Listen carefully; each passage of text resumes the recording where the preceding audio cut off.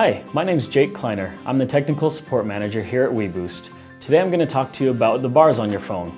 So what do the bars on your phone really mean? Well, honestly, the bars really don't mean much as one phone could show five bars and another phone could show two bars and you're getting the same signal strength. So for a more accurate way of reading your signal, we recommend putting your phone into a test mode. Let me show you how to do it. To put your iPhone into test mode, go to the phone button and dial star 3001 pound 12345 pound star and press the call button. You'll see it comes up and says field test and there's some options below, but don't worry about those. What you'll do, scroll down your notification bar and in the upper left hand corner of your phone where your bars used to be, you'll see the negative number right there. That's your signal strength.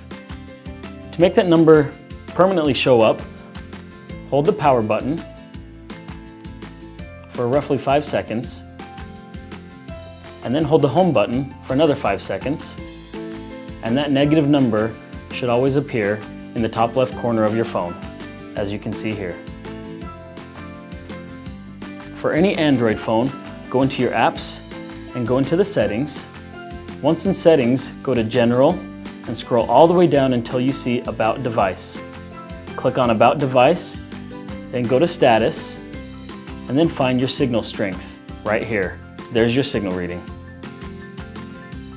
When you're in test mode, you'll notice there's a negative number. That's your signal strength. Don't worry, it's always going to be a negative number.